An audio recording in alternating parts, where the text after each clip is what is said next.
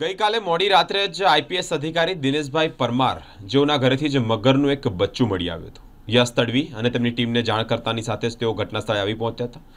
આજે મગરનું બચ્ચું છે, તેને સહી સલામત રીતે રેસ્ક્યુ કરવામાં આવ્યું છે અને સાથે વન વિભાગને સોંપવામાં આવ્યું છે.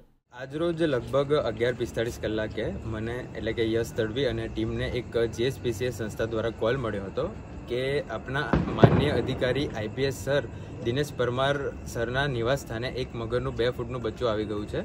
અમે તાત્કાલિક ત્યાં સ્થળ ઉપર પહોંચી અને તેને સુરક્ષિત રીતે રેસ્ક્યુ કર્યું હતું અને ત્યારબાદ તેને વન વિભાગને સુરક્ષિત રીતે જમા કરાવ્યું હતો.